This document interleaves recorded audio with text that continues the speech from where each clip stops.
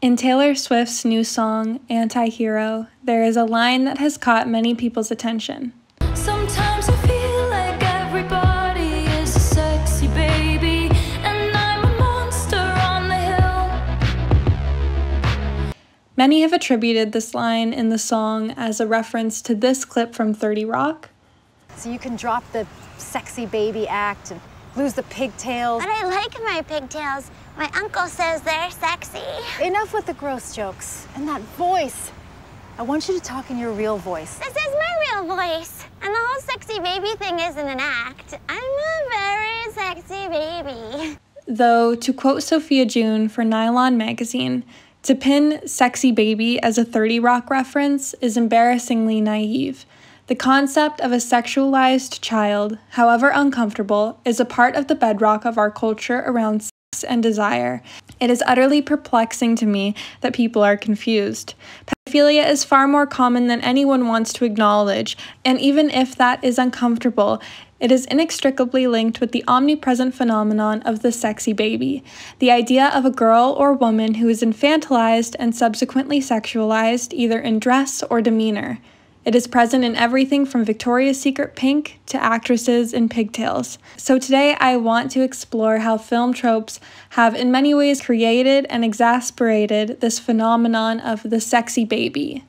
I believe the sexy baby trope can be seen and broken down into three different categories of female characters in film. The first is the most obvious, perhaps the oldest of these three categories is the Lolitas in film. These are the stories that sexualize underage girls, such as, of course, Lolita, Pretty Baby, and American Beauty.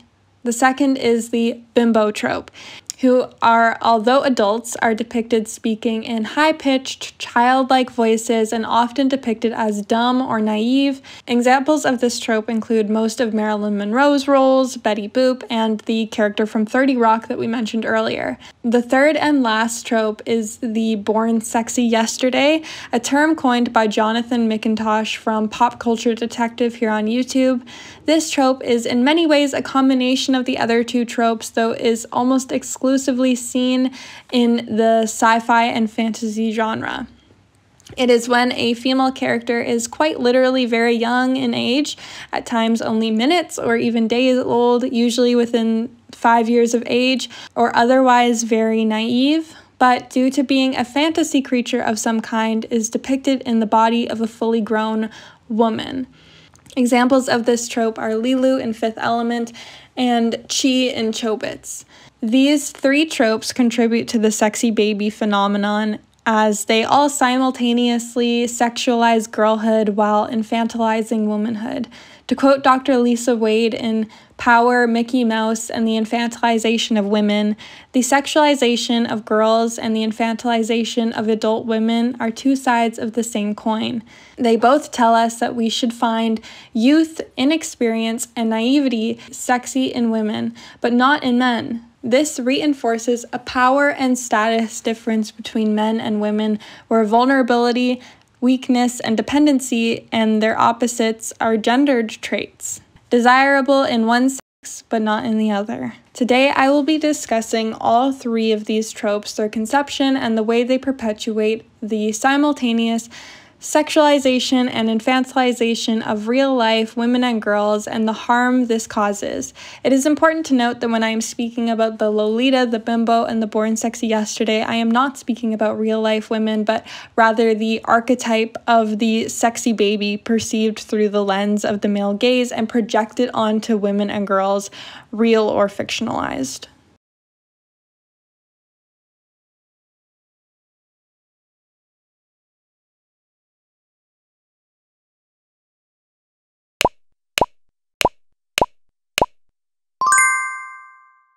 Part 1 The Lolita in Film and the Sexualization of Girls.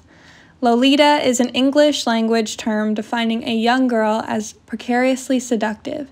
It originates from Vladimir Nabokov's 1955 novel Lolita, which portrays the narrator Humbert's sexual obsession with and victimization of a 12 year old girl whom he privately calls Lolita, the Spanish nickname for her given name Dolores.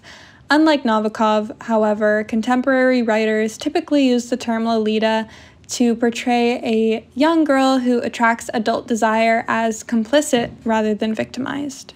So, when I am discussing Lolitas in film, I am discussing underage girls in film that are sexualized for the sake of the male gaze. Part 1, Chapter 1 Shirley Temple. The sexualization of minors in film has existed for as long as the film industry has. As early as the 1930s, children were being sexualized for the pleasure of adult audiences. Baby burlesque was a popular genre of film during this time and is the genre in which Shirley Temple rose to fame. In Temple's own autobiography, she describes them as a cynical exploitation of our childish innocence and occasionally were sexist and racist. War Babies, released in 1932, was an example of this genre. The film depicted toddlers playing GIs in a French watering hole, drinking bottles of milk in place of beer, exchanging large lollipops as currency, and engaging in a dumbed down menage a trois with Shirley Temple playing a prostitute character. Ara Osterweil's 2009 article in Camera Obscura argues that Temple's films use a gaze. The displacement of adult sexuality onto the body of a child involved an industry wide fetishization in which Temple's infantile sexuality was both deliberately marketed and scrupulously preserved. It is clear that Temple's innocence and the signature shots of her underpants were crucial to her erotic appeal. Temple wrote in her autobiography that on her first visit to MGM Studios, she had a meeting with one of the studio's producers, Arthur Freed. During this private meeting, Freed unzipped his pants and exposed himself to 12 year old Temple before saying, I have something just for you. Shirley responded in a fit of nervous giggles, and Arthur Freed promptly threw her out of his office, embarrassed. It is a well known fact that since Hollywood's conception, young women and girls have been forced into sexually exploitative and manipulative situations. So it should come as no shock that these men would not be making morally righteous films. This was not the last time Shirley faced this type of issue behind closed doors. At the age of 17, she had a meeting with David O. Selznick, producer of Gone with the Wind. Selznick's creative director at the time, Anita Colby, warned Shirley to be careful if she found him in stockings. Temple writes in her autobiography that this gave her the impression that could be a condition for employment with Selznick. Coming around my side of the desk, he reached and took my hand in his. Glancing down, I saw the telltale stocking feet. Pulling free, I turned for the door, but even more quickly, he reached back over the edge of his desk and flicked a switch I had learned from Colby was a remote door locking device. I was trapped. Like the cartoon of a wolf and a piglet, once again we circled and reversed directions around his furniture. Blessed with the agility of a young dancer and confronted by an amorous but overweight producer, I had little difficulty avoiding passionate clumsiness, Shirley Temple reflects in her autobiography. A 2007 study from the American Psychological Association claims media that sexualizes children and teens by appearance may serve to normalize abusive practices such as child abuse, child prostitution, and the trafficking of children.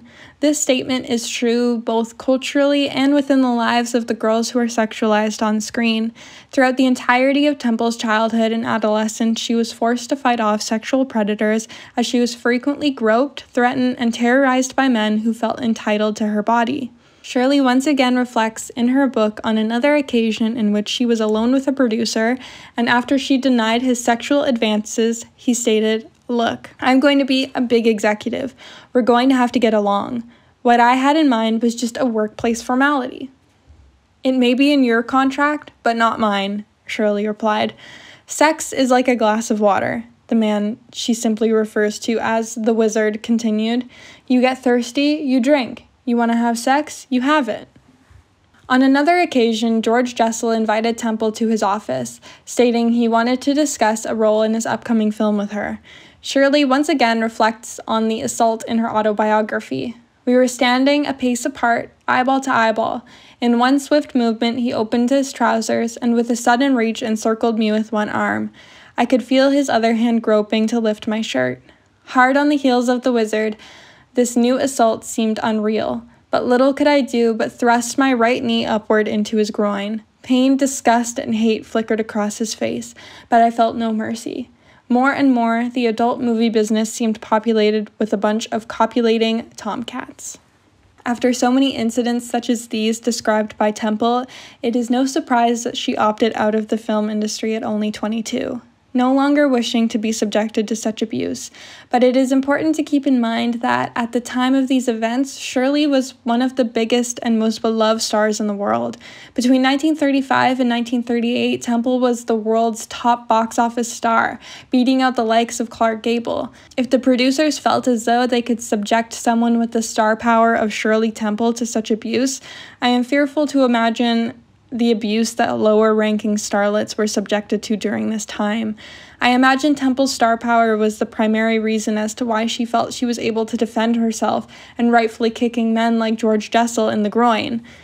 Unfortunately, the 1930s was only the beginning of Hollywood's long held legacy of exploiting and abusing young girls for the sake of a pedophilic male gaze. Part 1, Chapter 2 Lolita. In September of 1955, what would become one of the world's most famous and culturally influential novels was published and promptly banned in several countries due to its controversial nature. I am, of course, referring to Vladimir Nabokov's Lolita. Though I will not be speaking so in depthly on the novel itself, because honestly, the novel is not what I have an issue with, and I will actually be contrasting the way in which Nabokov's intentions with his novel Lolita have been completely and repeatedly ignored and corrupted by the men who have adapted his novel into films. In the article, The Fetishization of Girlhood by M.C. Easton, Easton states, as a writer, I find it impossible to think about the fetishization of girlhood without referencing Vladimir Nabokov's Lolita. The point of that novel is not that the grown man fetishizes girls, it's that we find it acceptable, even normal, when they do. Nabokov plays a game with the reader to see how far we are willing to tolerate Humbert and whether we see it his way, a grand romance between an older man and a willing nymphette, but Nabokov is testing us. Do we believe Humbert when he assures us that Dolores's cries of no are followed by sighs of pleasure? Do we believe that Humbert's disparaging comments about adult female bodies, polluted, big bodied creatures, and, and goose flesh are enough to justify his kidnapping and rape of a 12 year old girl? In the films, we lose this nuance. It is evident to me that the men who adapted both versions of this film very much missed the point that Nabokov was attempting to make with his book, or if they did, they failed to translate it onto screen. James B. Harris was on board as producer, and Stanley Kubrick was hired as the director to adapt the 1962 adaptation of Lolita. And at this time, one of the main issues when adapting was navigating around the Production Code of Administration, or PCA, which had strict guidelines in reference to the Hays Code on what was allowed to be shown on screen. The Hays Code prohibited profanity, suggestive nudity, graphic or realistic violence, sexual persuasions, and rape, amongst other things, which, as one could expect, made the adaptation of Lolita very challenging. Kubrick and Harris asked Nabokov himself to write the screenplay. Twenty years after the film was released, Nabokov recalled an an amiable battle of suggestion and counter suggestion on how to cinemize the novel, and the final script was heavily edited by Kubrick. Kubrick's script seemed more concerned with exploring the themes of sexual suppression rather than critiquing the real sexual crimes of the protagonist. And while this is understandable due to the censorship laws, it does beg the question as to why Kubrick bothered to adapt the novel in the first place. One of the early suggestions made to Nabokov when adapting the script was suggesting making one big change to pacify this PCA. Make Humbert and Dolores a married couple. Nabokov hated this concept and actually quit over it, sending a letter to the producer of the film, James B. Harris, deciding against the script job due to frustrating negotiations and the marriage tweak, which was, in Nabokov's own words, a particular stumbling block. Nabokov later returned after Kubrick and Harris dropped the marriage plot entirely. Their new solution was to age 12 year old Lolita up, and she would instead be 15 years old. Therefore, in order to make a releasable film, Kubrick and Harris were tasked with hiring an actress who appeared older than Dolores Haze that Nabokov described in his book. Of 800 auditionees, 14 year old Sue Lyon was, cho- was chosen to play the role. Sue Lyon appeared much older than 14, and this was only further emphasized by the way in which she was stylized in the film. In the article, The Troubling Legacy of the Lolita Story 60 Years On, Steph Green states When watched today, the final film is a bag of contradictions. Lyon is made up with eyeliner, sooty lashes, permanently coiffed hair, and yet she sleeps in the nightdress of a Victorian doll, all ruffles, ribbons, and bows. When we first meet her, she is rigidly placed and poised, gazing at Humbert over the top of her sunglasses. She looks imperious, knowing, and appears to be at least 18. She is not as Nabokov describes in the book, standing four feet tall in one sock. In a 1974 foreword to Lolita, a screenplay, Nabokov admitted that the frills of Miss Lyon's elaborate nightgown were painful. Nabokov would also later go on to say that Catherine Demongeot, the scrappy, tomboyish, then 12 year old of Zazie in the Metro, would have been the ideal Lolita instead. The difference between how Nabokov saw Lolita and how Kubrick and Harris saw Lolita is so jarring, and there really isn't a better example than this uh, to display that the sexualization of Dolores Haze or Lolita as a character begun with the 1962 adaptation of the novel, not the novel itself. The decision of Kubrick and Harris would once again be echoed years later in the 1997 adaptation where Dominique Swain was cast to play Dolores, though I would say the casting choice in 1997 was more accurate to what Nabokov would have wanted, though the styling choices still reflect a more fetishized version of his protagonist than what he describes in the book, though I will touch more on the 1997 version later. Determined to adapt this controversial book, despite the strict censorship laws, Kubrick and Harris made an effort to divert focus away from Sue Lyon and thus Lolita's age. Harris disturbingly went on record saying, We knew we must make her a sex object, where everyone in the audience could understand why everyone would want to jump on her. And in a 2015 interview, Harris once again affirmed his opinion by saying, We made sure when we cast her that she was a definite sex object not something that could be interpreted as being perverted. We wanted it to come off as a love story and to feel very sympathetic with Humbert. This statement goes directly against what Nabokov intended for his book. Nabokov makes a point in describing how small Dolores Haze is. At the age of 12, she is 4 foot 10 and weighing only 90 pounds. He emphasizes her childlike stature, and based on what Catherine Demongeot looks like, uh, whom Nabokov thought bore the most resemblance to Dolores, she is very much supposed to look like a child, because that's what she is a child. However, Harris states that we made sure when we cast her she was a definite object in reference to a 14 year old is deeply problematic. Referring to any woman or girl as a sex object is obviously not okay, but especially when they're a minor. Film critic Daniel Defrez wrote in 1974 Though 14 during filming, Lyon appears to be a well developed 17, and Humbert's desire for her comes off as ordinary lust. Statements like this imply that as long as a young girl appears older than she is, that a man's lust for her is justified. This also applies that a 37 year old Humbert lusting after a 17 year old girl would be ordinary and somehow ethical. In The Troubling Legacy of the Lolita Story, 60 years on, Steph Green states By making this version of Dolores a worldly participant, Kubrick's adaptation sets off a domino effect that continues to poison pop culture to this day. In 1992, Ellen von Unwerth shot Kate Moss for Glamour Italia in a cover and spread titled Charming Lolita. In these photos, 18 year old Moss is styled with a red lollipop, a doll, and ringlet curls.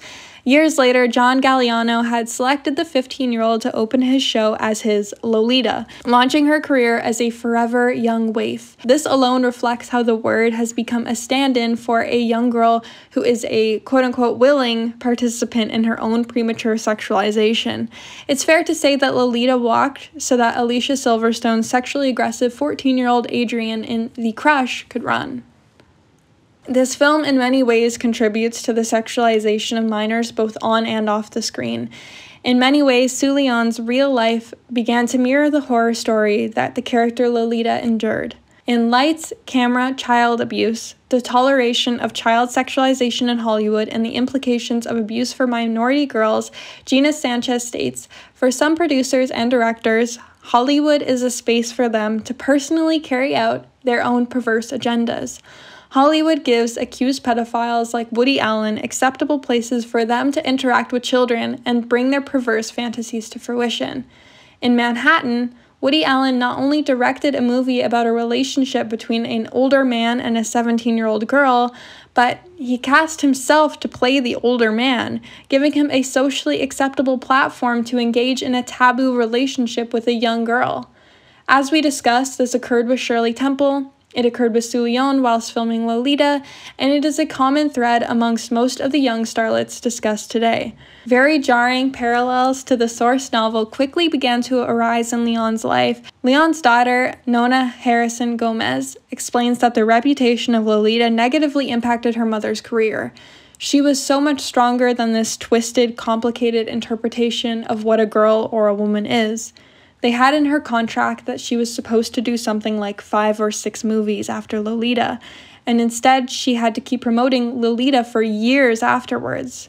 That movie pigeonholed her in a way that didn't allow her to move forward with her career. Sue Lyon became relatively withdrawn from speaking to the press, giving a rare statement in 1996 that highlighted the impact that Lolita had had on her life. My destruction as a person dates from that movie. I defy any pretty girl who is rocketed to stardom at 14 in a sex nymphette role to stay on a level path thereafter. Lyon was 14 when she was cast in the film and spent several months in 1960 and 1961 on, on the film set in London. According to Lyon's friend Michelle Phillips, it was on that set that Lyon began a relationship with producer James B. Harris. After filming had wrapped, Michelle Phillips was able to reunite with Sue Lyon and, in her own words, found her friend completely changed. Then Lyon revealed her secret. She had lost her virginity to James B. Harris. Phillips was shocked stating, I saw a picture of him. He looked like her grandfather. At the time, Lyon would have been 14 years old to James B. Harris's 32 years old. The age of consent in England, where they were filming, was 16 at the time and 18 in California. Harris and Lyon never married, and it is unclear how long they were seeing each other and what the nature of their relationship exactly was to Harris beyond the exploitation of Lyon's youth and naivety. Only a few years later, Sue Lyon got married to screenwriter Hampton Fancher, a man eight years her senior. They were married when Sue Lyon was 17 and Fancher was 25. It was Fancher's second marriage.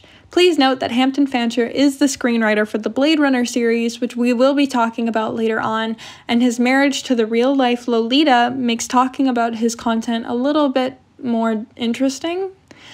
Michelle Phillips further reflected on Sue Lyon's legacy. She was lost in her life, and who could blame her? The life she had lived would lead her into this unfortunate place in her mind where she really didn't think much of herself. To quote Sarah Weinman in her essay, The Dark Side of Lolita, Lolita made Lyon a star. It was also the beginning of an undoing similar to the one of Nabokov's Nymphette endures. Her future included decades of mental instability, five marriages, a child she would end up abandoning, and protracted physical decline, culminating in her death at 73 in 2019. Though Lyon credited her early stardom for her own destruction, it's long been rumored that what occurred during filming and what broke her was a sexual relationship with the film's producer, James B. Harris. And as if the 1962 adaptation wasn't enough, Hollywood just couldn't stop itself from once again attempting to translate Nabokov's novel onto film. Of course, once again, upon the release, it was met with controversy. Many hated it, many loved it, and still today, many love this film, and many people hate this film. In his essay, New Lolita does terrible disservice to Nabokov and our children, Paul Maurer accurately has this to say about the 1997 adaptation of Lolita.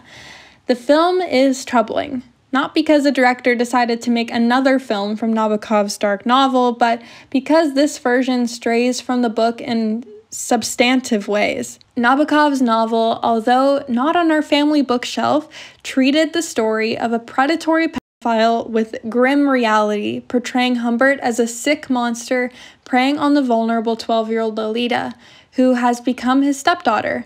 But the director, Lyne, changes Nabokov's basic story by making Humbert a troubled but sympathetic figure who unsuccessfully battles forbidden desires and ultimately yields the aggressive advances of Lolita, whom Lyne depicts as a 14 year old seductress. This not only strays wildly from the book's portrayal, but it casts pedophilia and incest in a totally different light. The child is a willing, even aggressive participant, and the as a passive and sympathetic victim. The film's screenwriter Stephen Schiff responded to criticism and said that the movie's critics in America come from a very jumpy, keep it in the dark, maybe it will go away kind of culture, and ensured that the film won't encourage pedophilia because Humbert comes to an awful end, and that if you make a film about a murderer, you're not advocating for murder. Comments like these from the men who adapted both versions of the film are terribly frustrating, and as I struggle to find the words to refute this horrible statement made by Schiff, I must merely quote Palmer again. It is comments like these that demonstrate the ignorance of Lolita's defenders concerning the horrors of pedophilia and the impact of film on behavior. The problem with the new Lolita is not that it brings pedophilia to light, but that by changing the title character from a victimized little girl to a sexually aware and aggressive young woman beyond her years, the predator becomes a victim, and the film provides solace, even inspiration, to those for whom young girls are objects of sexual desire. After spending 58 million to bring this film onto screen, the filmmakers and now their distribution partners are trying very hard to convince us it's okay. It's not, a film about a grown man having sex with his young stepdaughter is repulsive. By trying to capitalize on a film that will ultimately endanger our young people, Showtime is not displaying the artistic bravery, but pure corporate greed. In addition to what Maurer said, Schiff is being completely ignorant in his interpretation of the film is okay because Humbert comes to an awful end, as if the main concern from our society on men who prey on underage girls should be having sympathy for the men's demise, rather than the lasting psychological impacts that sexual abuse and assault has on literal children. In the fetishization of girlhood, MC Easton states Men who prey on young women, it's not an accident or instinct. It's a sexual predator seeking an opportunity and choosing to take it with both hands. Humbert's disgust with adult women and his preference for children echoes the sentiments of many men online today. From the popularity of barely legal porn to the Twitter trolls who try to body shame women into silence, Humbert Humbert is very much alive and well in today's America. Part 1, Chapter 3 Brooke Shields. Actress and model Brooke Shields has been sexualized throughout her childhood and adolescence, both on and off the screen. Brooke began modeling as early as 11 months old, and when she was only 10 years old, she was published fully nude in Playboy. Yes, you heard that correctly. Brooke was 10 when photographer Garry Gross took photos of her posing nude in a bathtub in 1975. It has been stated that the photos were not intended to be pornographic in nature, but I find that hard to believe. Brooke's mother, Teri Shields, was on set with Brooke that day and consented on behalf of her daughter. Teri expresses that she had intentions for Brooke to enter show business just five days after Brooke was born, stating, She's the most beautiful child and I'm going to help with her career. It seems Teri's dreams of her daughter provoked her to agree to this photo shoot, which saw Brooke fully nude, wearing heavy eye makeup, lipstick, and covered in oil. The 10 year old was directed to sit in a bathtub with two of the published images showing Brooke full frontal and completely exposed. Photographer Gross stated that the images were not meant to be pornographic, but did say that Brooke was supposed to look like a sexy woman some of the things that these men who work on these projects say just completely baffle me. You should never say that your intention when photographing a 10 year old is to have them look like a sexy woman, let alone when they're being photographed nude. In 1986, a Senate committee report claimed that a pedophile needs to know or to convince himself that his obsession is not abnormal and dirty. It is shared by thousands of other intelligent and sensitive people. This is exactly what the sexualization of children in Hollywood does. As we saw with the producers of the Baby Burlesque, as we saw with James B. Harris while working on Lolita 1962, and screenwriter Stephen Schiff while working on Lolita 1997, and we see once again with this photographer while photographing literal child pornography, these men who work on these projects are desperately trying to convince us that what they are doing is morally okay when it is not. I urge you to keep this Senate committee report in mind as we move forward because it is vital in the conversation surrounding the normalization of the sexualization of children in our media. The issue of the magazine that Brooke appeared in reportedly also contained three other pages featuring photos of what were referred to as nymphets on the page. This term is, of course, referring back to none other than Lolita, and it is unclear how old the girls in these photos were. Brooke had her feature film debut at the age of 12, starring as a child prostitute in the 1978 film Pretty Baby. The film was released to a lot of criticism and controversy due to its depictions of child prostitution and the nude scene of Brooke Shields. Despite criticism, Brooke stands behind the film Pretty Baby and has fond memories of being on set. Though asked if she would let her own daughter star in such a movie, Shields said, being a mom now, looking at my 11 year old daughter, I would not facilitate it. Shields would then go on to star in Blue Lagoon, another controversial film for its sexualization of underage Brooke Shields. The film tells the story of two young children stranded alone on a tropical island, but without either the guidance or restriction of society, emotional and physical changes arise as they reach puberty and fall in love.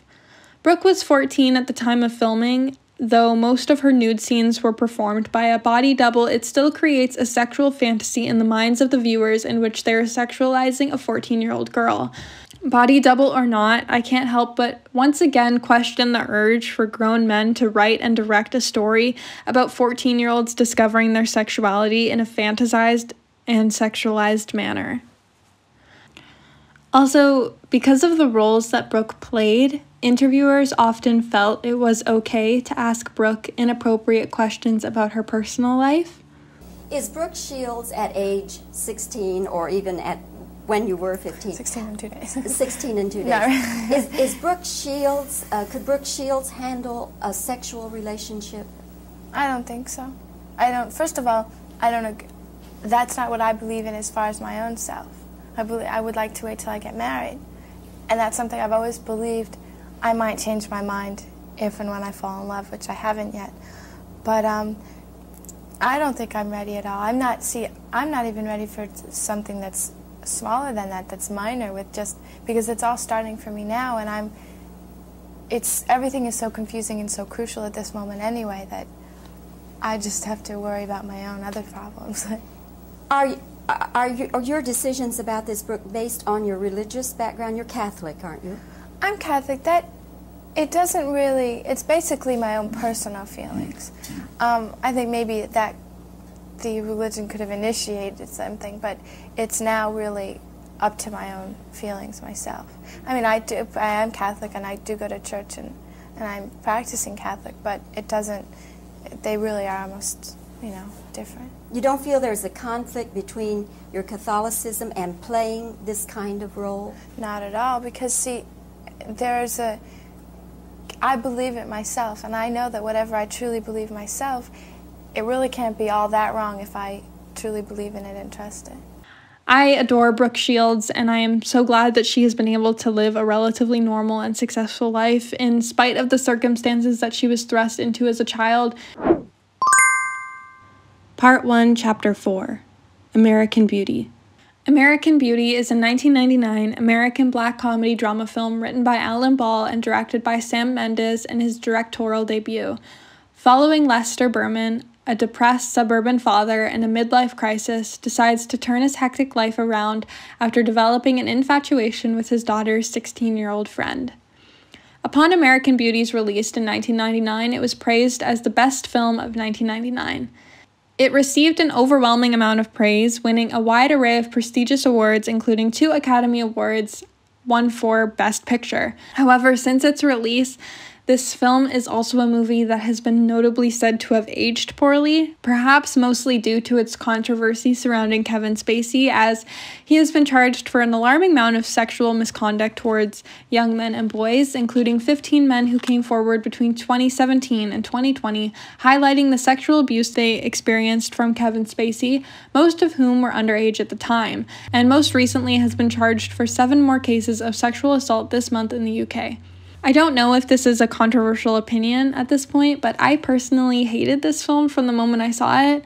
I'm not sure if it's because I was 17 the first time I watched it and didn't understand the more nuanced subject matter, or if I just felt rightfully entirely bored and uncomfortable with the subject matter and the way in which this girl my own age was being portrayed and sexualized.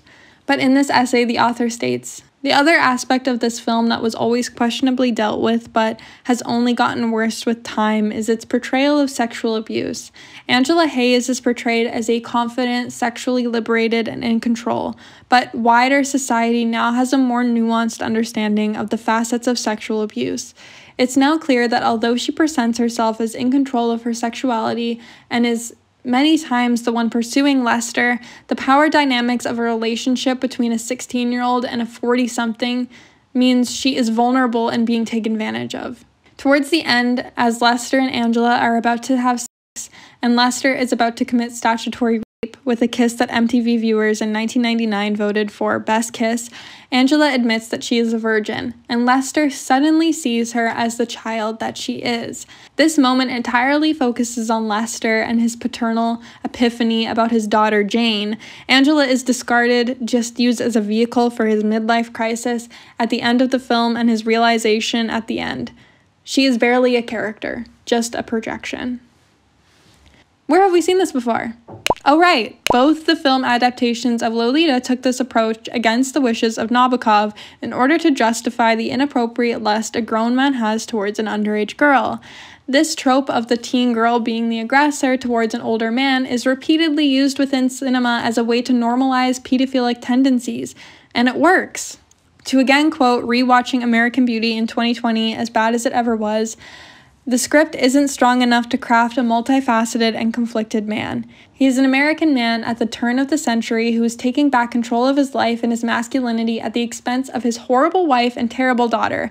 Lester is afforded the sympathy that many of the other characters, especially the women, aren't given an, even an ounce of, and he dies a hero.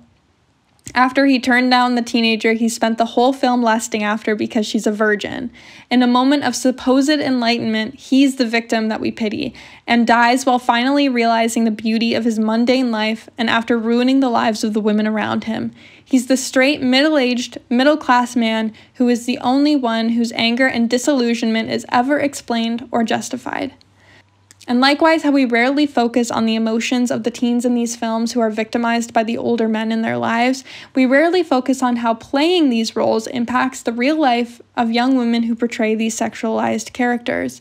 Unlike the previous films mentioned, the actress who played Angela, Mena Suvari, was at least above the age of 18 when she filmed American Beauty, though that doesn't mean the role and roles like this didn't have real life impacts on Suvari's life. Suvari has come out and expressed how, for much of her life, she believed her worth was not just in what she looked like, but how sexy she was. The film roles that thrusted her into stardom, such as Heather in American Pie and Angela in American Beauty, firmly positioned her as a fetishized teenage girl, though her brutal sexualization had begun far earlier when she herself was only a minor. Suvari began modeling at the age of 12 and she found that modeling and acting gave her a way to express her feelings, though they also instilled in her from a very young age that the only thing that mattered was the way she looked, and to look sexy was even better. Suvari reflects on her first photo shoot as a 12 year old girl. Everyone was raving about how I looked 18, but I was 12. What was communicated to me was that I was an adult, therefore, I can act like an adult. This once again tragically reminds me of Lolita and emphasizes the problem in the way that the 1962 adaptation was casted and stylized. James B. Harris stating that casting a 14 year old who looked 17 to play Lolita made the entire film seem okay and non perverse teaches a very dangerous lesson to men that if a young girl seems older or looks older than her age, that this is somehow ethical to pursue her. This photo shoot was the beginning of a pattern of older men being attracted to Suvari, and she expresses that she felt these older men used her. She remembers one photographer in his 20s who photographed Suvari nude alone at his home when she was only 15 years old, and one of her business advisors in his mid 30s who started having sex with her when she was only 16. Suvari expressed that I didn't have anyone telling me that's not right. That person shouldn't be doing that to you. Suvari was smart and had good grades. She was going to auditions, and so from an outside perspective, nothing seemed wrong. So, to my own detriment, no one noticed, Suvari reflected.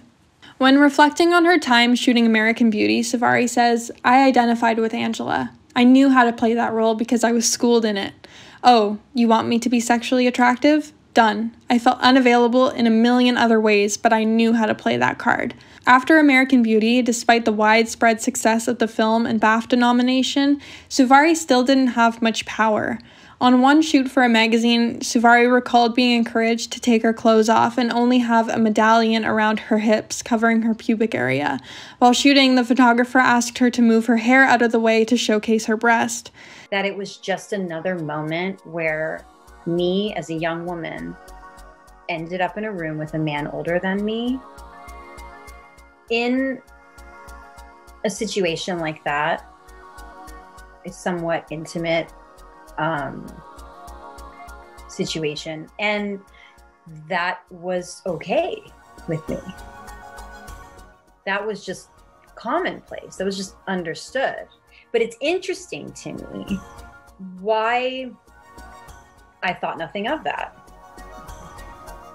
So I'm trying to create a conversation around that, whether it was a person who happens to be named Kevin Spacey or the man who was 26 years old at the Oakwood who took me into his apartment and I'm in my bathing suit and like I was 15 and he's laying with me in just the same way.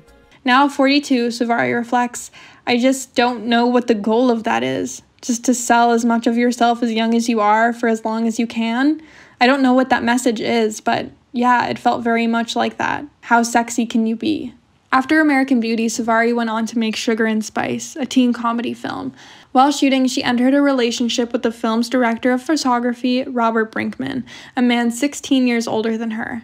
They were quickly married, and Suvari said this about the relationship I was desperately trying to check the boxes on, like what an adult does. Maybe I was looking for a family. I can't help but feel reminded of Sue Lyon and the real life impacts that playing Lolita had on her. What needs to be emphasized is that these aren't just characters of young girls being fetishized. By choosing to tell these stories, through the medium of film, the grown men involved in these projects are subjecting real life young women and girls to this fetishization, and this has real life consequences. Part 1, Chapter 5 Euphoria. Ah, yes. Sam Levinson, you are not getting away without your name being mentioned. There have been many, many video essays on euphoria and why it is or isn't problematic in its depiction of teens, so I'm going to try not to linger on euphoria for too long, but I did feel it was necessary to include euphoria in this discussion as it is a modern and in some ways unique example of the fetishization of young girls. Most of the controversy surrounding euphoria is its depictions of drug use and sex, and whether or not the show romanticizes these toxic behaviors rather than leveraging its platform to have a productive conversation surrounding these things. In the essay, Euphoria still has an over sexualization problem. Angela Aduo stated, Yes, teenagers have sex. This isn't the problem. The problem is the extent to which it is shown on screen and whether it is necessary to the plot. On one hand, it can be reassuring for young people to know that sex is normal and nothing to be ashamed of. On the other hand, there's a problem with the sensual, choreographed, highly sensationalized depiction of that they're showing on screen. Some have also pointed out that Euphoria is problematic in its portrayal of teenagers because it opts to have actors who are in their 20s play teens rather than cast actual teenagers. Some have said this contributes to teens having a disjointed perception of adolescence and what they themselves should look like as teens, and I actually kind of disagree with this. I've seen this statement thrown around a lot that teens should be played by teens, and it's a viewpoint I can't fully get on board with. I think the less teens, I think that the less teens are subjected to being in the eye of the media, the better. In all honesty, for the reasons we saw with the actresses mentioned above, amongst others. And I think in many circumstances, teens should be played by adults. Not always, but a lot of the time. Though what I don't think is appropriate is when people like Sam Levinson leverage the use of adult actors in teen roles as a way to facilitate hypersexualized and fetishized sex scenarios about teenagers. This is further highlighted in the essay Why Does Euphoria Insist on Sexualizing Teenage Girls? To acknowledge that teen girls are sexual people is not a bad thing but to cater to the very gaze that has in the popular culture made them out to be far older, more mature, and therefore fair game for sexual attention from everyone is another thing entirely. The fact that the show often relies on getting a free pass to do this based on the technical fact that the actors are adults is akin to how some corners of the world waited with bated breath for the moment Billie Eilish turned 18 in order to openly sexualize and project their fantasies onto her. It isn't that there's something icky about looking at teen girls, even if they are played by adult actors being sexual per se, it's about looking at them being sexualized because this means that someone is doing the sexualizing, and that someone in this instant, it isn't just Nate. It's everyone who watches. It is, for one, a great disservice to the inner world of teen girls, their complexity, richness, and the parts of their humanity that are expressed through their sexuality. It reduces them to a Lolita esque prop who cannot be described beyond taste adjectives such as yummy, delicious, juicy, or something just as gross.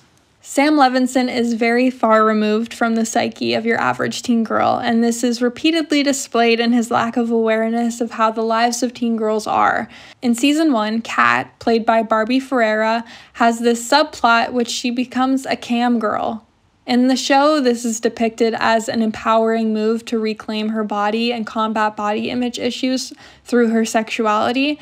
Kat is paid to be a sort of online dominatrix to adult men on a website similar to Pornhub or OnlyFans in an attempt to harness some sort of pro sex body image inclusive narrative, Sam Levinson completely ignores that this is utterly illegal and disgusting. Kat is no older than 15 or 16 years of age, and to glamorize an underage girl doing sex work to reclaim her body is disturbing and highlights how clueless Sam Levinson is in relation to the psyche of your average teen girl. Because of course he is. He's a grown man and a nepotism baby. It likewise doesn't help that Drake is an executive producer of the show, as he has been recorded of being a teen sexualizer. An interesting observation that can be made about Euphoria is the way in which Sam Levinson chooses to depict male versus female sexuality through the perspective of gaze. When Nate is having a sexual fantasy about Cassie, we largely see the fantasy through the eyes of Nate. The camera pans Cassie's body in a stylized and sensual way, ensuring to include as many shots of Cassie's breath as Sam Levinson can. We see the fantasy as if we are Nate. Though when Kat had a sexual fantasy, we don't see the fantasy through her eyes. To again cite why does Euphoria insist on sexualizing teen girls, we don't see this through her own eyes. We see it from a voyeuristic camera angle, far away from her and barely in her line of sight, as the Viking has aggressive sex with her, almost as if we are peeping into her fantasy, but we're an active part of Nate's. Why? Because, of course, Sam Levinson writes from the perspective of the male gaze. Now, I'm not accusing Sam Levinson of anything other than being a bad writer, but I can't help but be uncomfortable with the idea of a grown man being so insistent on spending hours and hours writing a show that includes countless numbers of in depth, fantasized sex scenes featuring teenage girls. I have to question why. What is your motivation? Why would a grown man be so adamant about spending so much time facilitating these sex scenes of teenage girls, if not to fulfill a sort of fantasy of his own. I think it is important to bring up the fact that Sydney Sweeney has mentioned that she had to speak to Sam Levinson about the amount of nude scenes she was written into. In an interview with The Independent, Sydney Sweeney stated that there are moments where Cassie was supposed to be shirtless, and I would tell Sam, I don't really think that's necessary here. And although she highlighted that when she spoke to Sam Levinson about these scenes, in which she didn't feel necessary for her to be nude or topless, Levinson was very receptive and he rewrote them immediately. It just begs the skepticism on his intentions with his portrayal of teen girls. And I once again don't believe it is inherently problematic to explore the sexuality or struggles of teens in film. I think it is a necessary part of storytelling. A film I believe does this very well is Mysterious Skin by Gregg Araki. Araki manages to explore very dark subject matter, including pedophilia, in a way that never sexualizes the teen and child actors within the film, displaying that it is very possible to represent these concepts in a way that doesn't feel fetishized. Levinson just doesn't want to. Part 1, Chapter 6 Countdown Clocks and Parasocial Grooming. So, we have discussed the sexualization of fictional teen characters in film and how this has, in many cases, had very jarring and real life impacts on the young women and girls who play these characters. But what about the girls who are thrusted into stardom and are not playing roles that are inherently sexualized? In the irony of everything seemingly relating back to Lolita since its conception, Natalie Portman was actually offered the role of Lolita in the 1997 adaptation, though turned the role down due to the fear of being sexualized. Portman has discussed how as a young starlet, she made every effort to desexualize her image in order to feel safe, and from a young age deduced that the only way she could feel even moderately safe while in the eyes of the media was to hide behind prudish roles. Natalie Portman has publicly spoken about the sexual terrorism she experienced as a young teenager since her debut in Leon the Professional at the age of 12.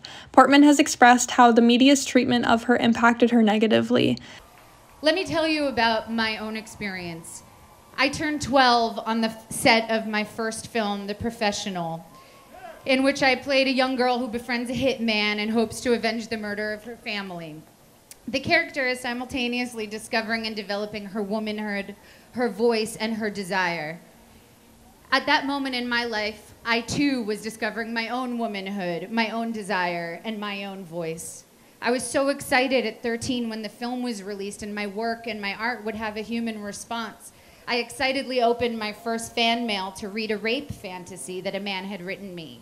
A countdown was started on my local radio show to my 18th birthday, euphemistically the date that I would be legal to sleep with. Movie reviewers talked about my budding breasts in reviews. I understood very quickly, even as a 13 year old, that if I were to express myself sexually, I would feel unsafe, and that men would feel entitled to discuss and objectify my body to my great discomfort.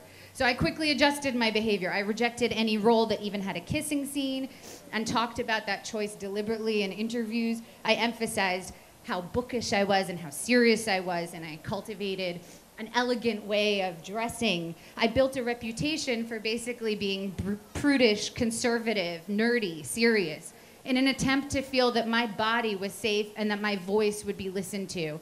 At 13 years old, the message from art culture was clear to me. I felt the need to cover my body and to inhibit my expression and my work in order to send my own message to the world that I'm someone worthy of safety and respect. The response to my expression, from small comments about my body to more threatening, deliberate statements, served to control my behavior through an environment of sexual terrorism. Unfortunately, Portman is not the only young starlet to have received this sexualization. There are many other young starlets who have had countdown clocks on online forums where adults play a waiting game counting down the days in which they can legally sexualize a child. This is extremely disgusting and uncomfortable, yet it has become socially acceptable for years. In 2004, before the Olsen twins turned 18, several websites had active countdown clocks counting down the minutes where Mary Kate and Ashley Olsen would become legal.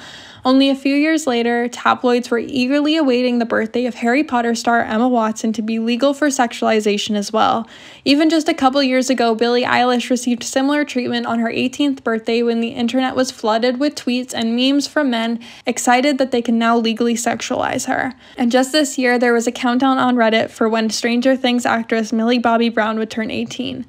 The countdown was created on a subreddit titled NSFW Millie Bobby Brown and had thousands of members just waiting for the moment they could sexualize the teenage starlet. In their essay, We Need to Talk About the Celebrity 18th Birthday Countdown Clocks, Simone Hanna expresses, We should be protecting young people, not awaiting the moment we can sexualize them. With those in media industries being so comfortable sexualizing young girls, the behavior will naturally be viewed as acceptable by members of the public. These women don't even have the option to choose how people view them. Without any say, many of them are simply stuck on calendars for men old enough to be their fathers, waiting to sexualize them legally. It is important to note that it isn't just grown men eagerly waiting for the second they can legally sexualize a teenager. It's that in many cases, these grown men have watched these women grow up especially in the case of the Olsen twins, who were in the spotlight since they were literal babies. This to me makes the culture around countdown clocks feel like a sort of parasocial grooming. The reality is that the media in which we discussed contributes to the societal norm that it is only natural to sexualize underage girls, to eagerly await the day that these girls turn 18 so they will finally be legal for the praying eyes of grown men to pounce. And I feel the need to point out that legal does not mean ethical. The fact that men await eagerly for the second a girl turns 18 is disturbing. I worked in the modeling industry since I was a teenager, and I remember when I turned 18, there was this palpable predatory vulnerability that I felt. There was a significant shift the moment I turned 18 in the way I was able to navigate the world around me because I was no longer protected by the law from being preyed upon. I would have conversations with photographers and they would encourage me to shoot nude. And when I would insist I didn't want to, the photographers would say that I must not want it enough to be in the industry. Overnight, it went from being illegal for me to be photographed nude to mandatory because I no longer had the law protecting me. And if I refused, well, suddenly I'm a diva and I'm hard to work with. In addition to photographers attempting to persuade me to shoot nude by threatening that if I don't, then I then I don't want it enough. There was also a specific circumstance where I had once again freshly turned 18, and there was this photographer that I was working with in his 40s, and he was trying to persuade me to let him shoot me nude. And when I repeatedly said that I didn't want to, I remember one of the things he said to try and persuade me was, Well, you might as well do it now because you're in your prime and your body is never going to look better than it does right now which is such a pro which is such a problematic and jarring thing to hear as a teenager. Yeah, it, it just never sat right with me. This photographer also later went on to sexually assault me. So, I mean, that just kind of shows the type of people that we're talking about here. I also want to mention how prevalent this Lolita concept of sexualizing minors, both on and off the screen, is very palpable within anime and the Western conditioning of normalizing the fetishization of minors has made the simultaneous objectification of Asian women by white men normalized as well. This has led to many real life issues of men from the West traveling to countries such as Japan with the intention of sexualizing young women and girls. Mina Le further explores this concept in her video titled Let's Talk About the Japanese Schoolgirl, which I will have linked below for further viewing.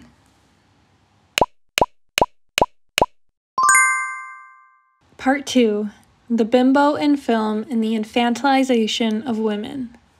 Bimbo is a slang term for a conventionally attractive, sexualized, naive, and unintelligent woman. The word bimbo is Italian in origin, literally meaning little child. I do want to make it very clear that when I am discussing the bimbo trope, I am not talking about real life women, and I am not talking about the modern day like bimbo movement that has been gaining traction in recent years, especially on TikTok. I am speaking only in relation to the cinematic term and trope that has been written by men for men. I also do not mean this term in a derogatory way, nor am I necessarily stating that I do not like the film or the characters that the bimbo trope applies to. Many would assume that the sexy baby trope would end with the Lolita trope. Though I believe the pedophilic gaze manifests onto the minds and bodies of grown women as well. If the Lolita trope, as we discussed, is the sexualization of girls, then the bimbo trope, as we are about to discuss, is the infantilization of women, which are two sides of the sexy baby coin. The 30 Rock clip from earlier actually falls into this category, the bimbo trope is characterized by a woman not only being attractive to men, but also notably by possessing a sort of childlike innocence. A bimbo not only appeals to a man's physical fantasies of a woman, but she also appeals to men in the way that she does not threaten men with her naive and childlike personality. And some films and characters that fall into this category would be Marilyn Monroe's character in The Seven Year Itch, Betty Boop, and Shelley in The House Bunny.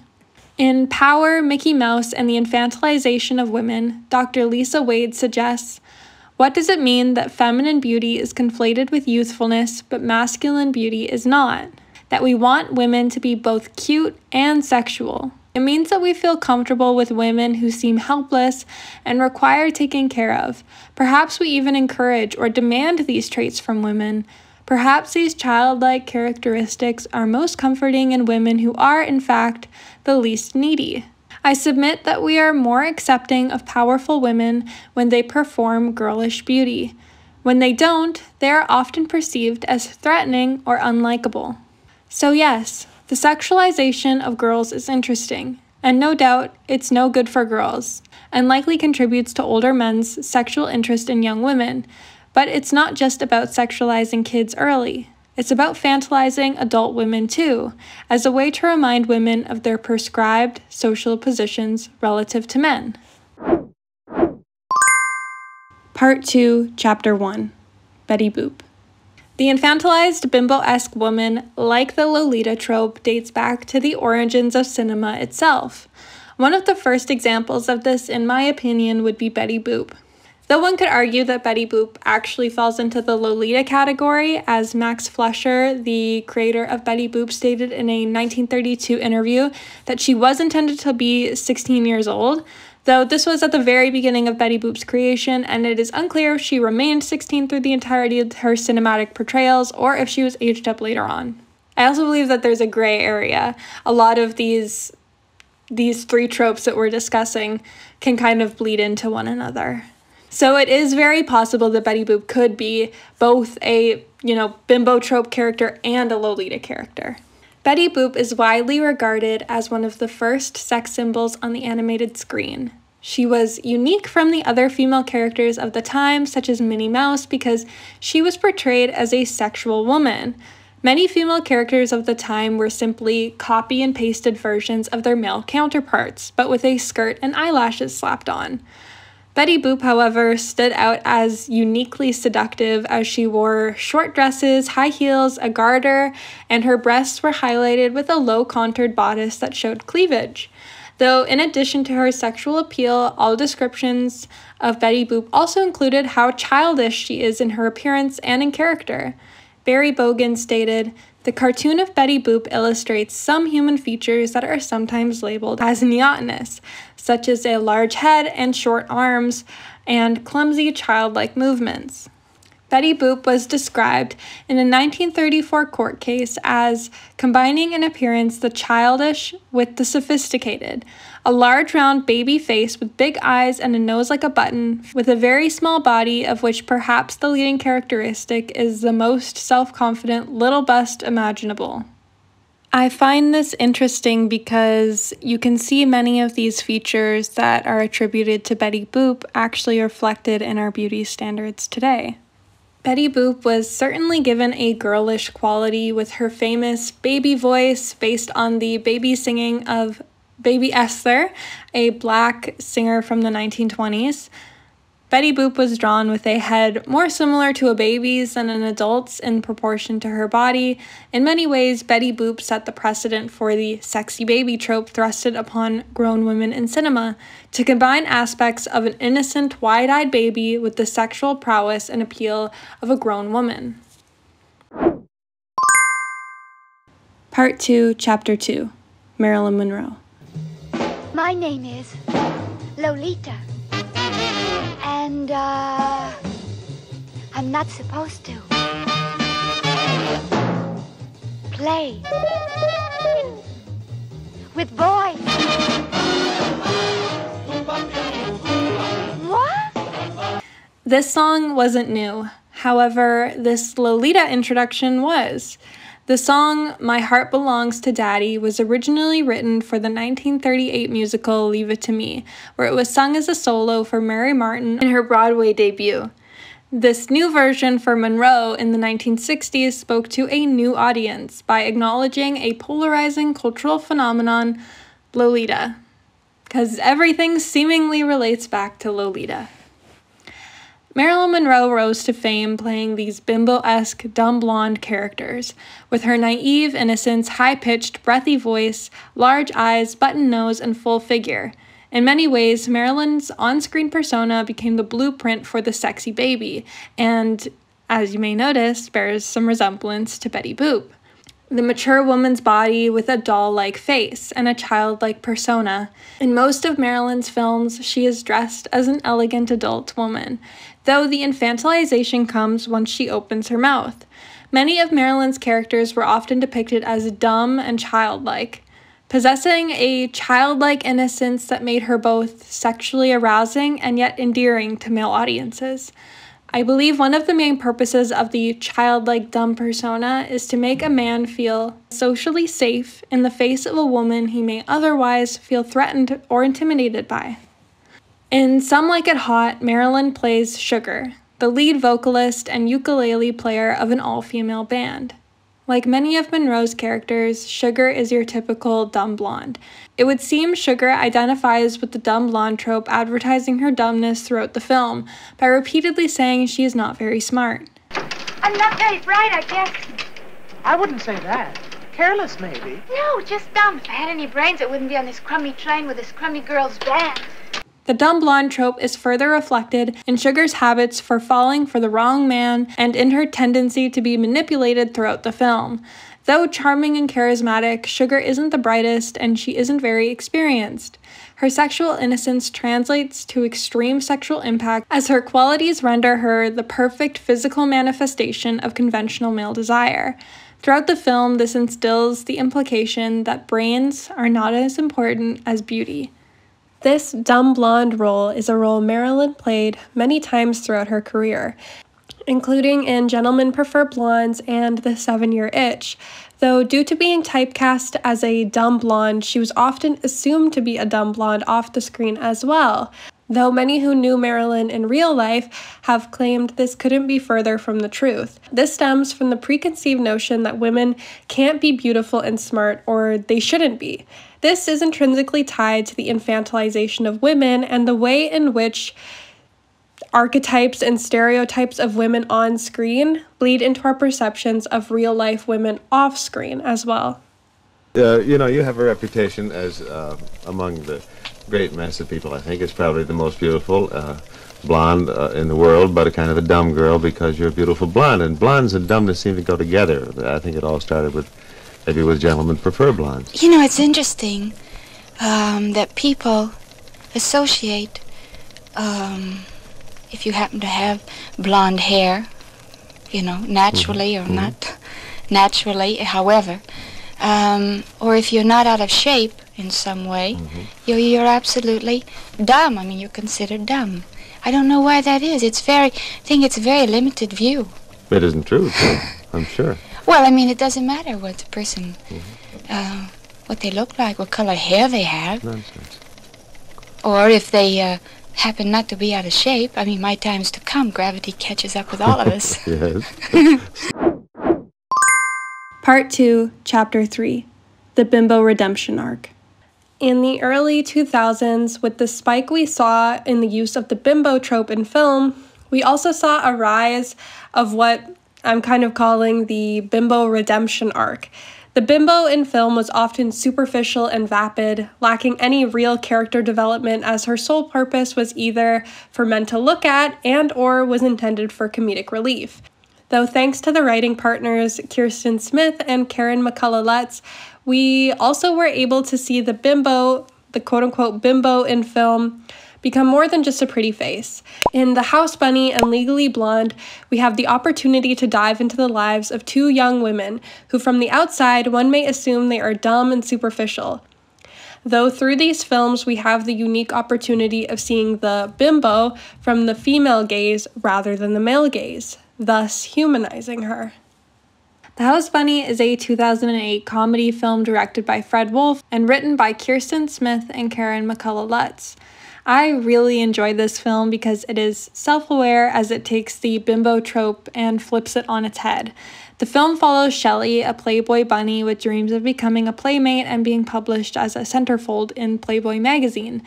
Though when she awakens in her bedroom in the Playboy mansion on her 20th, on her 27th birthday, she is met with a note from Hugh Hefner kicking her out because she has gotten old. But I'm 27. But that's 59 in bunny years. Shelley is the epitome of the bimbo archetype. She is blonde, her skin is smooth and hairless, she adorns herself in various shades of girlish pinks, and she is aware of her sexuality and she navigates the world with this ditzy and childish excitement.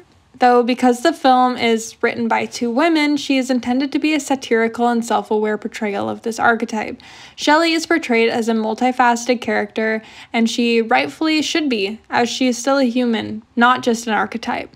The film explores the expectation of women to be young, feminine, and sexy, though at the same time ditzy as not to be threatening to a male's ego.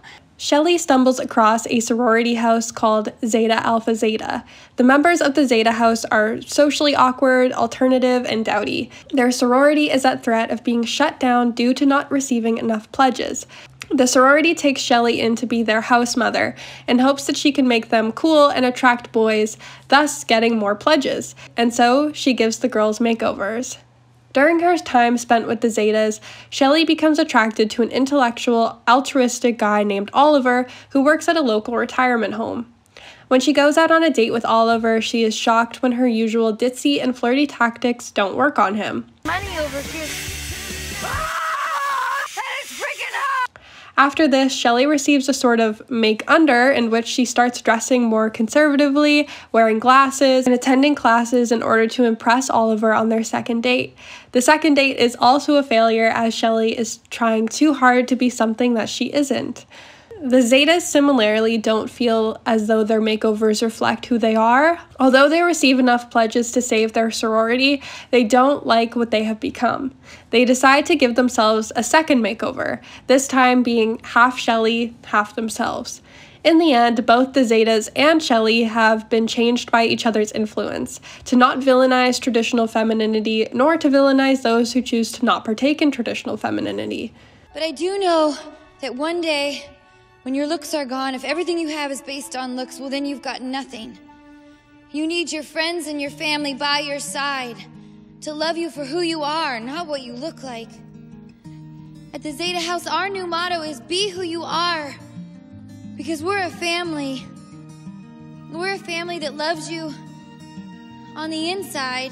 This film is a refreshing commentary on the bimbo trope rather than a straight faced use of it, allowing Shelley to develop into a fully realized and well rounded character rather than just eye candy for the male gaze. Similarly to The House Bunny, a film famous for satirizing the bimbo trope and giving their lead a redemption arc is Legally Blonde, which is of no surprise as The House Bunny and Legally Blonde were written by the same women. Legally Blonde's lead, Elle Woods, has similar experiences to Shelley in which she goes on a journey of self discovery and reflection, attempting to alter her feminine persona in order to be taken more seriously by her ex boyfriend, who broke up with her because he was attending Harvard and Elle wasn't serious enough for his aspirational goals of a politician. So you're breaking up with me because I'm too blonde? Elle sets out to prove him wrong. From the outside, Elle is your stereotypical dumb blonde, and many underestimate her abilities because of the way she looks and presents herself. Though she manages to get into Harvard with great ease and thrives in the academic environment to the shock of those around her, especially her ex boyfriend. About, uh, I, am sorry, are you here to see me? No, silly. I go here. You, you go where? Harvard. Law school. You got into Harvard Law? What, like it's hard? Ultimately, Elle stays true to her feminine ways and proves and showcases that beauty and brains can absolutely coexist. A woman can be both feminine and intelligent.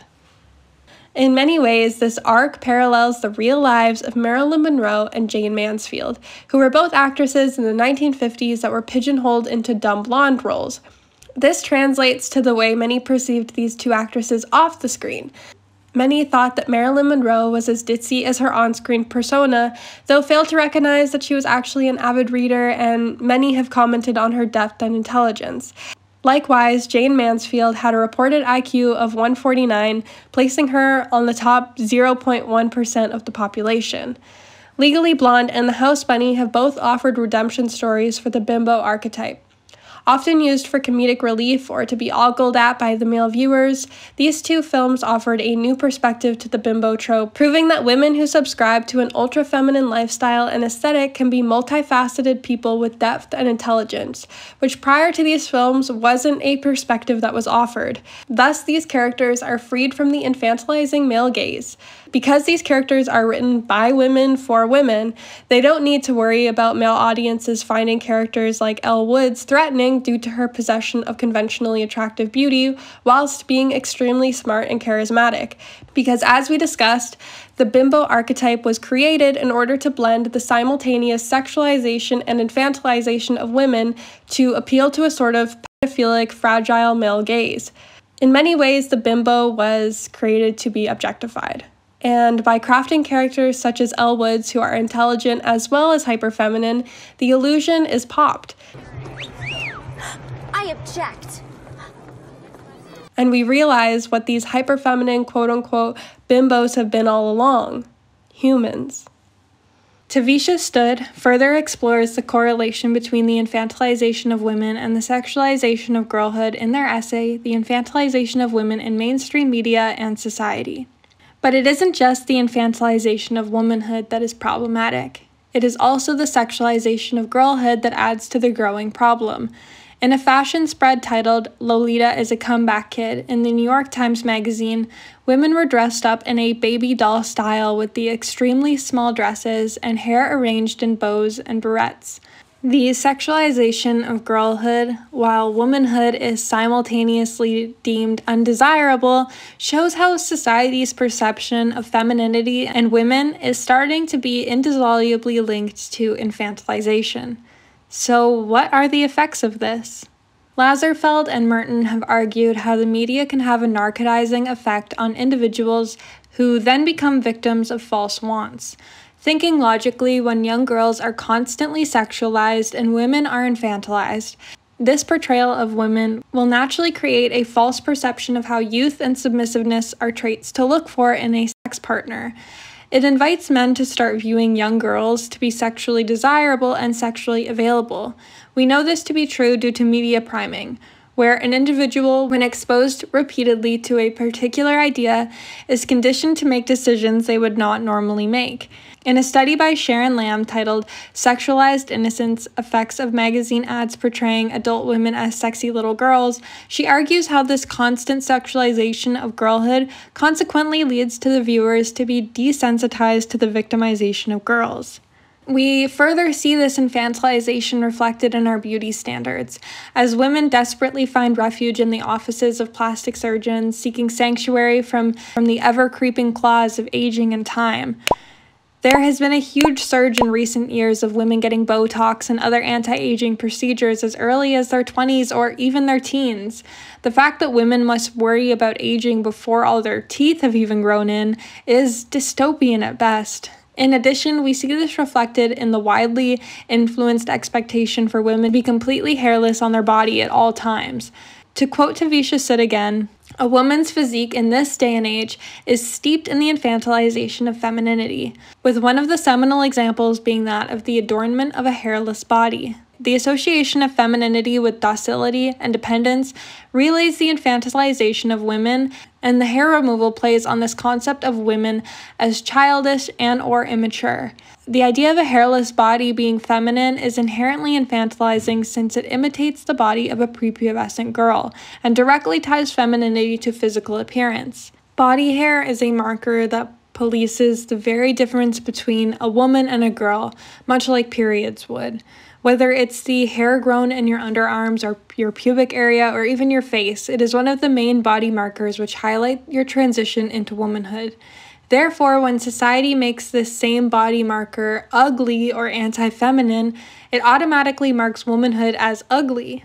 It rejects womanhood and embraces girlhood. It reiterates the message of how women who radiate and imitate the body of a prepubescent child is one that is feminine and acceptable, and those that show signs of aging are simply undesirable. Part 3 The Born Sexy Yesterday in film and the simultaneous infantilization, sexualization, and objectification of women and girls.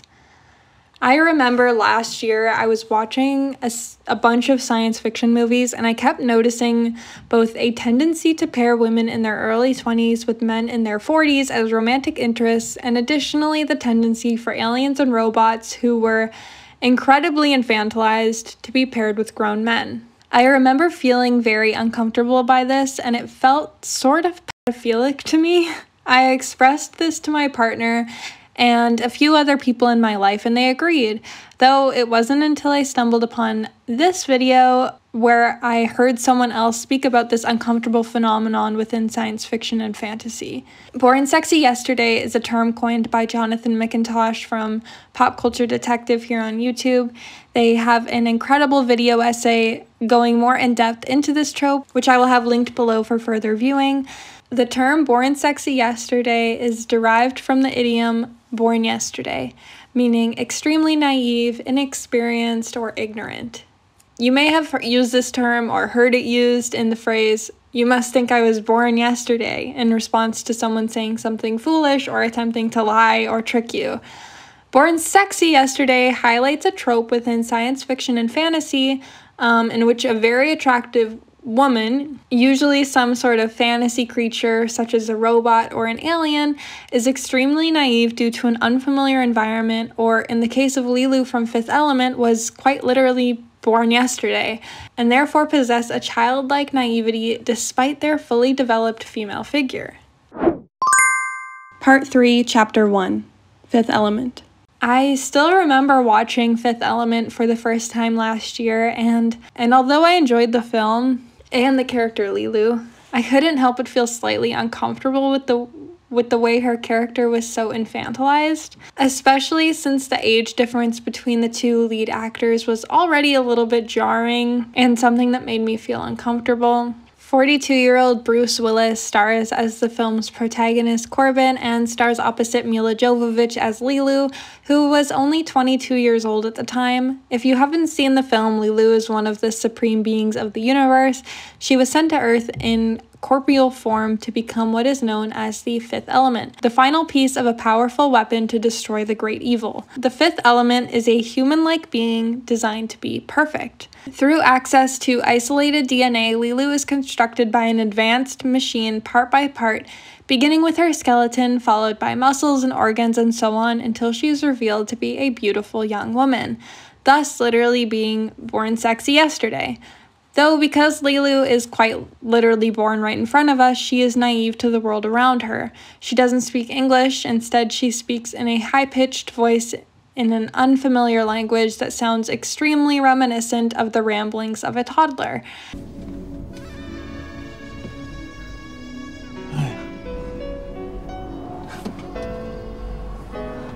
You okay?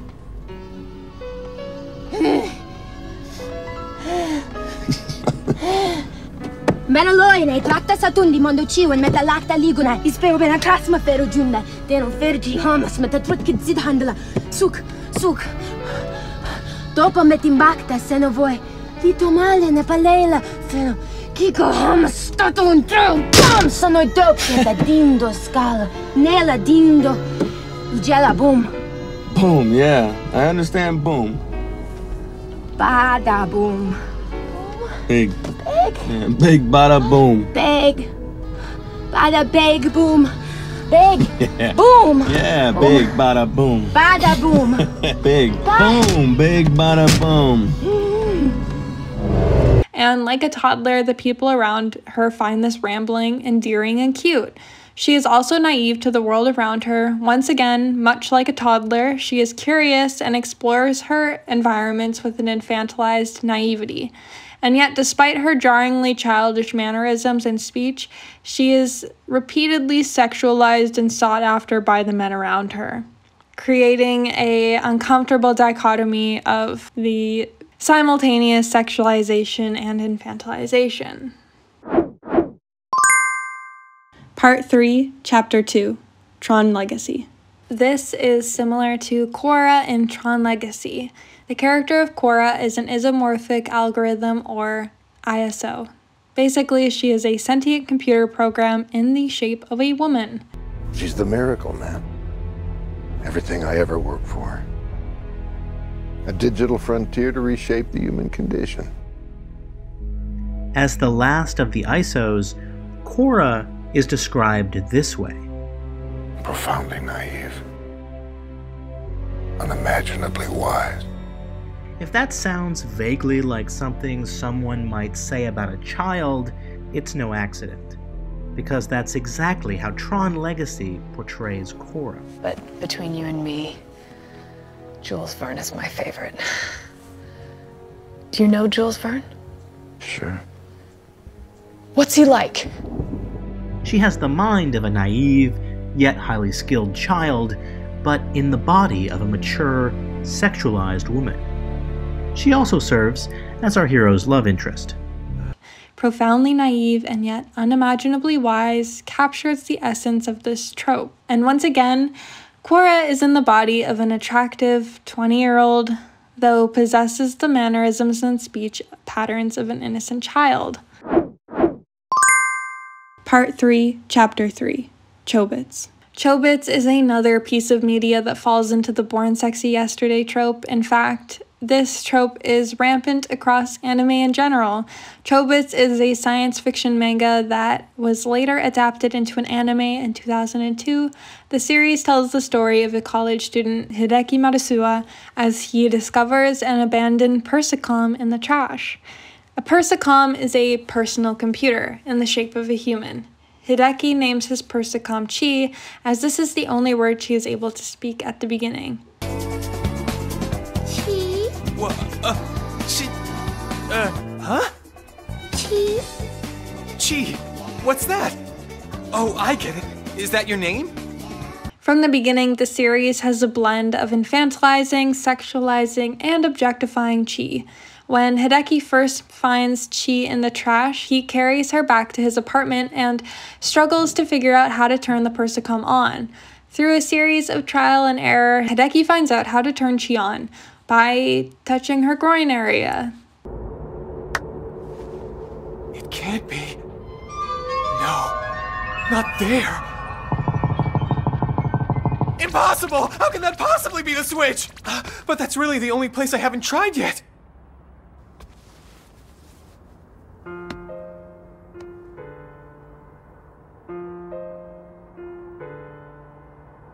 I'm not doing this because I'm perverted or anything, but what's the point of having it if it doesn't work? Yeah, that's right. Right.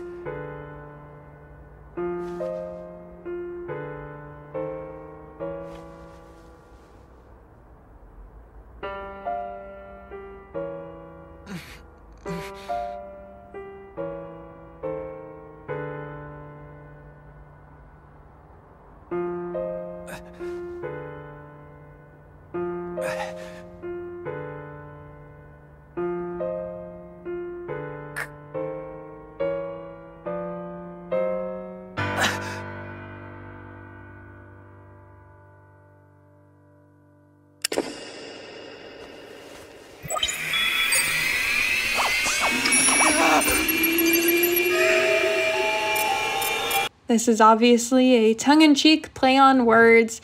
He turns the Persocom on by, well, turning her on. Upon being turned on, she immediately regards Hideki with adoration and attention. Like Quorra and Leeloo, she has a very childish personality. She is naive, innocent, and curious. She also speaks with a girlish, high pitched voice. Hey, are you really that happy? Take care of yourself. no, Chi, that's not what you're supposed to say now. That's what you say when someone's leaving. At times like this, you're supposed to say welcome home. You say welcome. Welcome home. Well, welcome home. I would say that unlike Leeloo and Quorra, though, she is depicted as physically looking rather young as well, looking to be around 15 years old, though she is a robot and therefore technically ageless, right? Hideki begins to fall in love with Chi, and the series questions the ethics and validity of the relationship between humans and robots, as a lot of these movies do. Uh, pervert? Hideki is a pervert! pervert! Hideki is a pervert! Part 3, Chapter 4 The Blade Runner series. Both of the Blade Runner films, in my opinion, uh, have an issue with both their representation of women and their represent and their representation of BIPOC, or rather the lack thereof. Notably, between Blade Runner and Blade Runner 2049, there is exactly one female character with dialogue who is an actual human being and not a robot or an AI. Faye Wang states in her essay, Gender and Race Issues in Blade Runner, the problem with making almost all female characters replicants is that the theme of this movie is about the humanity of replicants, and the movie never really gives you an answer about it. It is kind of the point of the movie. I got it. But when you make nearly every female character a robot with questionable humanity, the movie is basically treating women as subhuman. I don't want to spend too much time on Blade Runner because I do think the issues with Blade Runner has more to do with the sexualization and, and objectification of women rather than the direct infantilization of women. Though I do think it is important to bring up as screenwriter Hampton Fancher, the man who married Sue Lyon, the first Lolita, when he was 25 and she was 17, wrote both Blade Runner and Blade Runner 2049. And I do believe that the appeal of fembots does correlate with the appeal of the infantilized woman slash the Lolita trope. In her essay, The Dubious Portrayal of Women in Blade Runner 2049, Jessica Wilkinson critiques the character Joi, Joi is an AI, a hologram made for the pleasure of the consumer, who in this case is K. In this way, she is a literal commodification. Joi is his perfectly designed girlfriend. She is able to change her outfit at will to suit him, and she can appear and disappear as he sees fit. When he wants her, he can summon her with his device. She has no external purpose, and she is killed as another female character stomps on the very device K stores her consciousness, and her last words are, I love you. Her life revolves around K, even at the point of death. Women are depicted no better in the original Blade Runner. In the original Blade Runner, there is this extremely disturbing uh, scene between Rachael a replicant and the protagonist Rick Deckard, in which Deckard sexually assaults Rachael. Deckard makes repeated sexual advances at Rachael in spite of her giving him multiple verbal and physical cues that she is not interested in his advances and would like to leave. Deckard traps her in the room with him and forces himself onto her. It is an extremely uncomfortable moment and yet is framed as romantic and lustful. Jonathan McIntosh from Pop Culture Detective also has a video going more in depth into this specific scene and other scenes like this in cinemas. That's I'll have that video linked down below as well. Here's where it crosses the line into sexual assault.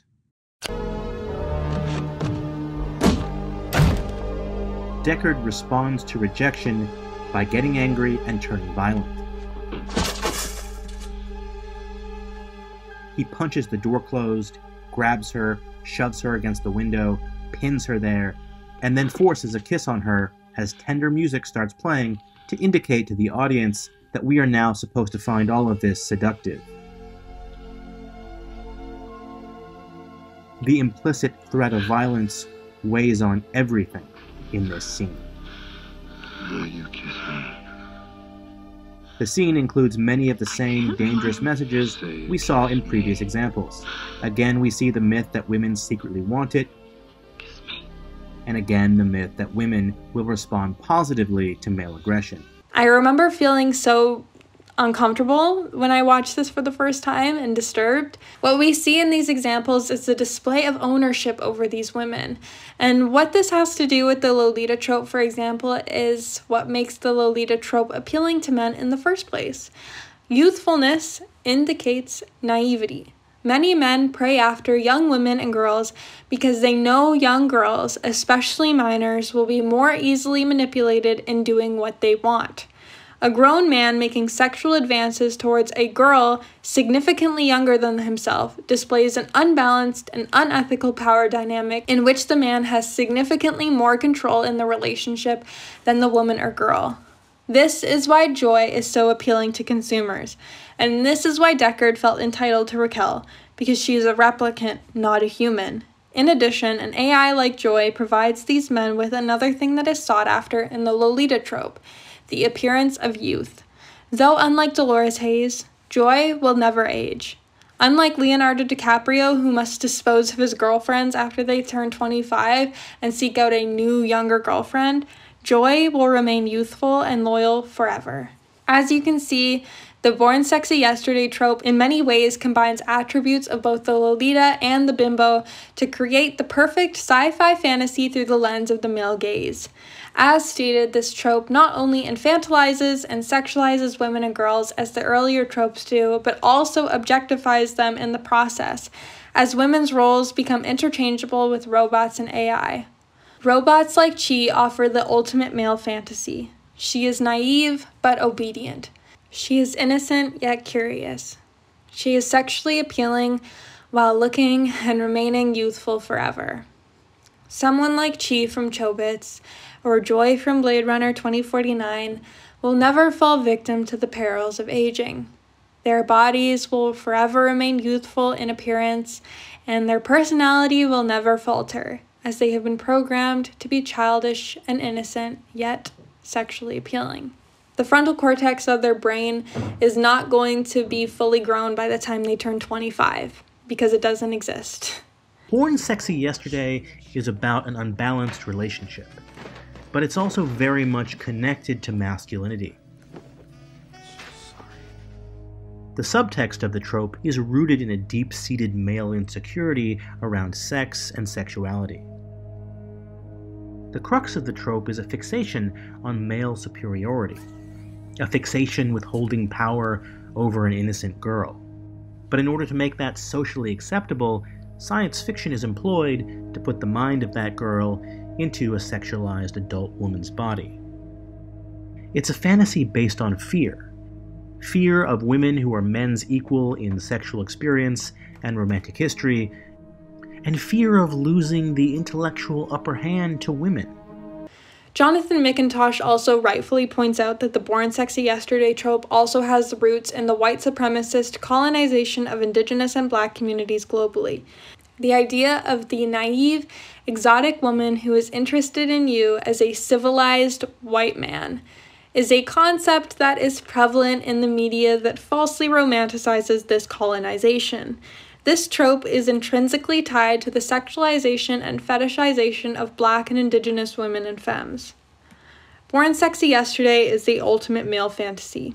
Much like the Manic Pixie Dream Girl, she is an extraordinary woman who finds the most average of men fascinating, and thus the average male viewer can watch these average men find love with this extraordinary woman and find solace and comfort in this sexual fantasy. In addition, many of the characters that fall into this category are virgins by nature of being so young and inexperienced with the world.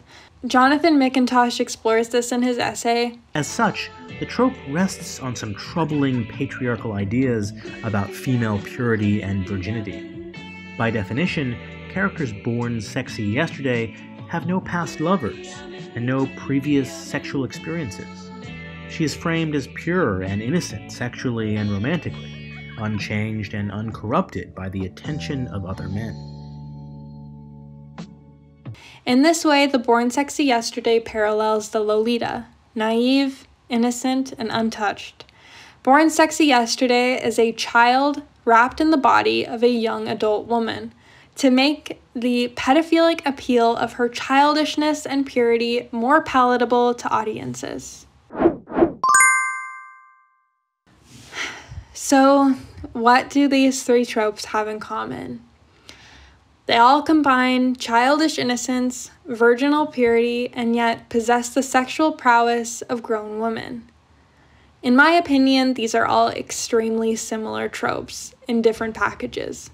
These three tropes are all examples of the way we see the sexy baby portrayed and normalized within cinema and thus our culture. This trope not only contributes to the way in which minors are sexualized and preyed upon in our society, but the normalization of the sexualization of minors and the infantilization of women contributes to women feeling as though they are running out of time as early as our teens. I have journal entries from as early as 17 years old feeling like I'm getting too old. Being told as women that our sexual appeal begins to expire after the age of 18 is damaging and predatory. It is predatory and problematic to prey on women as close to childhood as legally possible. And this is exactly what these tropes were created for for grown men to get as close to children as legally possible. To quote Mia Mercado in their essay, I Can't Shut Up About Sexy Babies, Women have long been told that the only thing better than being beautiful is not knowing you're beautiful. Look mature and act innocent. Be helpless and fuckable. We treat Leonardo DiCaprio's dating history like an anomaly, despite it following a trend among men who date women. While straight women self report being most attracted to men their age, straight men of all ages say they're most attracted to women in their 20s. Likewise, a 2018 study among predominantly white straight men and women found that men's desirability peaked at age 50, women's peaked at 18. Of course, none of this is new. After all, a sexy baby never ages. You may have noticed that not only do all of these tropes have an emphasis on youth, but they also have an overwhelming emphasis on whiteness. As the film industry has been not only controlled by and created for the eyes of men, it is specifically catering to the gaze of cis straight white men. These tropes not only uphold a standard of pedophilic gaze, but also hold a standard of white supremacist gaze, as they feed into the racist archetype of purity and innocence. This hypersexualization of young girls still impacts BIPOC communities greatly, but the consequences experienced by BIPOC women and those who have been socialized as women by these tropes can be felt differently. I would like to direct you to this video by Khadija, which I will have linked below, as Khadija explores the way in which the male gaze and the male gaze through a cinematic lens specifically impacts BIPOC communities and even specifically women or those who are not women but have been socialized as women. In addition, I want to make it clear that just because I have mentioned a piece of media, person, or character in this video does not mean I think said media, person, or character is inherently bad, nor does it mean that I dislike said media, person, or character. In fact, quite the contrary. Much of the content and people I have discussed today, I am actually a fan of. I am honestly a fan of Fifth Element. I enjoy Betty Boop, and I think Euphoria excels in many ways, to mention a few. But it is because I enjoy some of this media that I feel the need to discuss it. I think we too often operate in binaries of love or hate, especially in the age of online discourse, though I believe there is room for a gray area. You can enjoy a piece of media while remaining critical of it. You can acknowledge the faults of some media while praising additional elements. My goal with this essay was to acknowledge the tropes and media that contribute to a narrative that I believe to be harmful and have real life negative repercussions. I am positive not all of the directors or writers of the cinema I have discussed today have malintent in contributing to this fetishistic, and infantilizing narrative, but that's why it's important to have dialogue about the media in which we consume, especially when a large percentage of cinema has been told only from the perspective of a certain demographic for a certain demographic. We begin to normalize tropes and behavior on screen that can be harmful, and in turn, we begin to normalize this behavior off screen as well. Cinema can be a powerful tool, and to wield it is a responsibility.